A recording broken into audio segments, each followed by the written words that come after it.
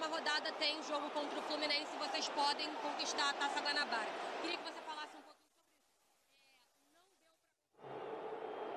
É claro que queríamos vencer todos os campeonatos, mas se a gente disputou esses campeonatos, é porque a gente foi campeão.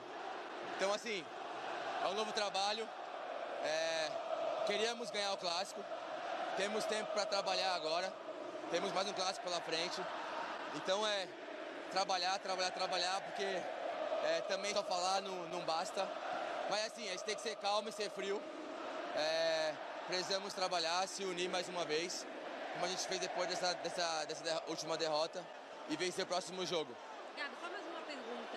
É, esse início de trabalho do técnico Vitor Pereira, como está sendo para vocês assimilarem tudo isso? É sempre a mesma pergunta. A gente está trabalhando muito, se, é, se, se ajustando em cada jogo.